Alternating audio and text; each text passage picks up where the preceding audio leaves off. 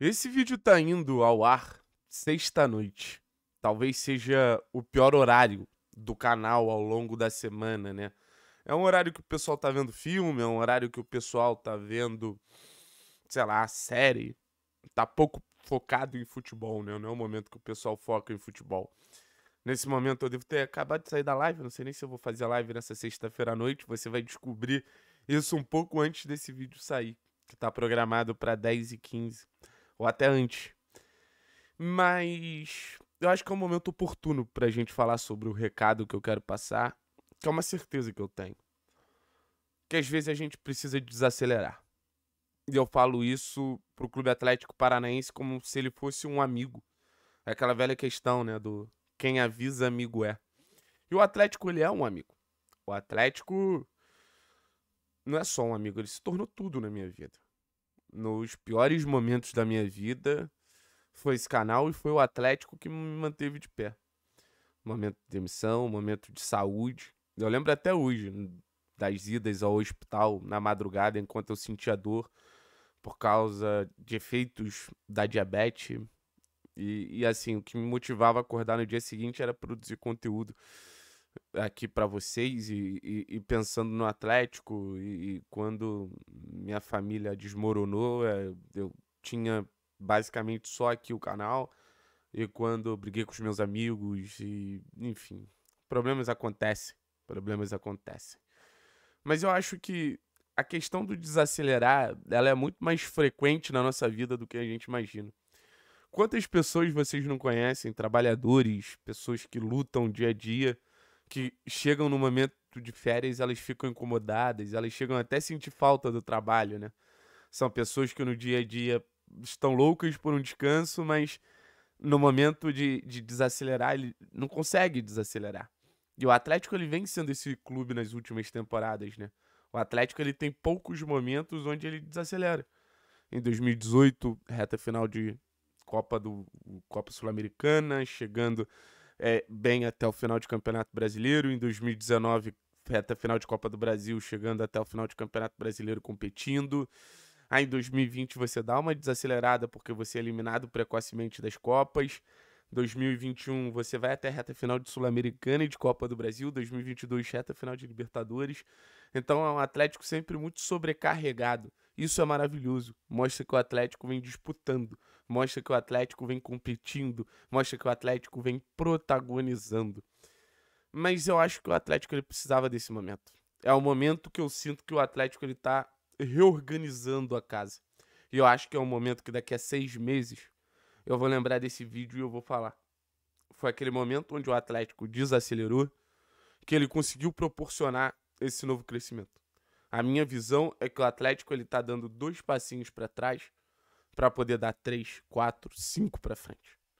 E esses passos para frente, talvez eles não venham de imediato, mas a gente vai saber quando eles vão chegar. Sabe? Porque eu vou dar um exemplo de um clube que tá bem em alta no futebol brasileiro, que é o São Paulo. Ano passado, o São Paulo faz um bom campeonato brasileiro, se eu não me engano, fica em nono. Uma campanha mediana. Chega na semifinal da Copa do Brasil, perde pro Flamengo. Chega na final da Sul-Americana, perde pro Del Valle. Um ano de muitas críticas, um ano de muita porrada, um ano de, de, de muitos questionamentos. Apesar dos resultados razoáveis. E esse ano é um São Paulo muito mais pronto. Mas qual é o meu entendimento e por que eu estou dando o exemplo do São Paulo? Óbvio que é um São Paulo com mais investimento, óbvio que é um São Paulo, enfim, mas acho que é um São Paulo que se preparou para esse momento. O Atlético do Filipão, o Atlético do Turra, era um Atlético que tinha zero bagagem tática, zero identidade. Então, a partir do momento que acontece uma troca, o treinador que chega, ele não tem como levar, sabe? Por que ele não tem como levar? É muito óbvio. Porque não tinha nada. Quem não tem nada vai levar o quê? Então, Wesley a impressão que eu tenho é que ele está começando basicamente do zero e ele está começando um cenário curioso que eu acho que o treinador que vier pós Wesley Carvalho, isso se tiver um treinador que vai vir depois do Wesley Carvalho, ou até mesmo a manutenção do Wesley Carvalho, depois desses três, quatro meses, cinco meses de trabalho do Wesley, ele vai ser muito bem mais sucedido, porque ele vai ter uma bagagem tática.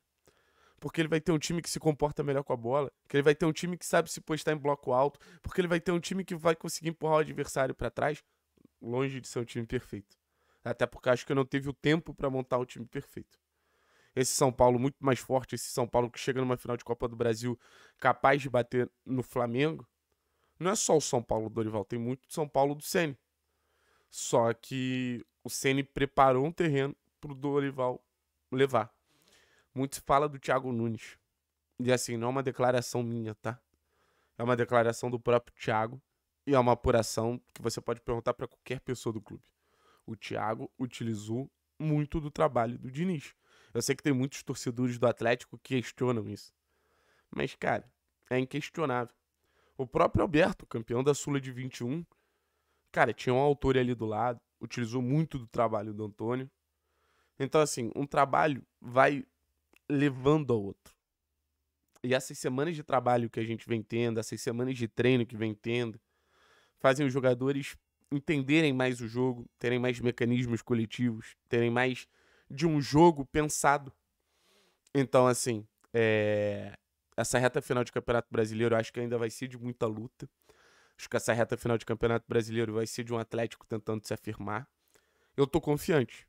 A vitória contra o Cuiabá me deixa ainda mais confiante. Mas eu confesso que é um grande ponto de interrogação. O que esperar do Atlético a médio, longo prazo, enfim, no Campeonato Brasileiro, na disputa do Campeonato Brasileiro. Mas pelos jogadores que tem, pela quantidade de talento, pelo trabalho que vem sendo feito, pela melhoria. Sei que tem muita gente nas derrotas vem falar frases de eu só vejo do trabalho do Wesley, eu vejo o Turra ali e tal, mas não tem nada a ver, velho. Tem nada a ver. Tem que saber entender esses momentos. E são momentos como esse que eu acho que formam grandes times. Quer saber que, que o momento de desacelerada vai fazer sentido mais à frente. Por isso que eu falo, o Atlético não é um clube campeão. O Atlético não é um time campeão. Isso faz grande diferença. Times campeões é, é o acaso. Às vezes vai lá o time e bate campeão. Um clube campeão nem sempre ele vai ganhar. Mas quando ele não estiver ganhando, ele vai estar tá se preparando para ganhar. E eu acho que o Atlético ele está se preparando para ganhar.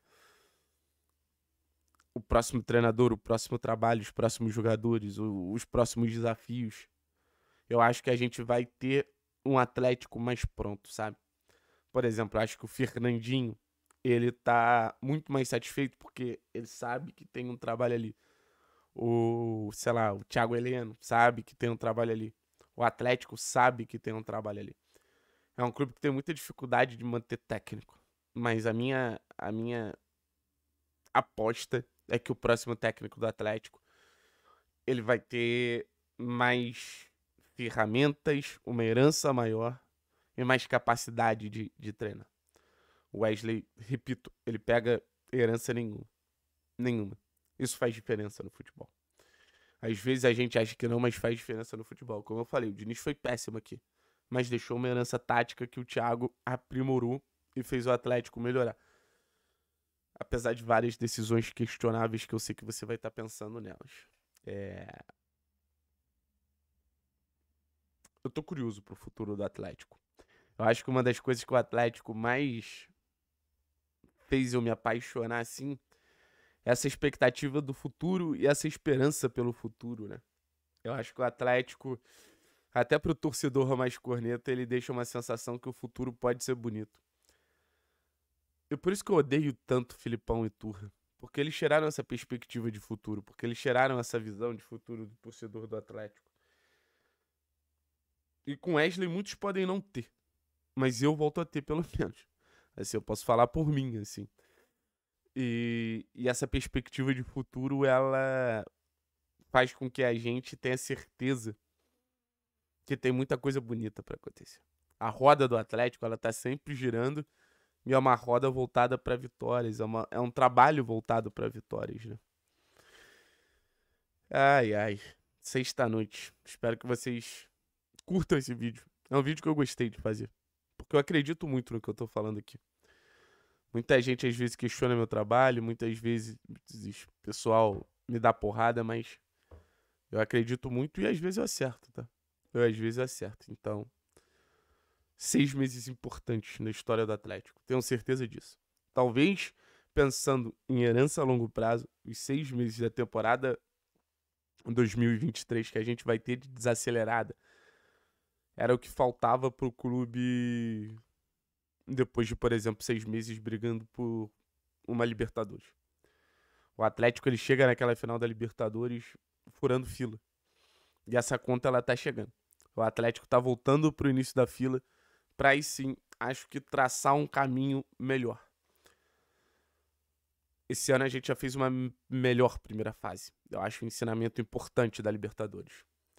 Talvez a gente não tenha conseguido dar sequência ao cooperismo, enfim, não sei o que faltou. Talvez um pouquinho mais de abafa, mas eu tô confiante na próxima edição de Libertadores. Escreve o que eu tô falando para vocês.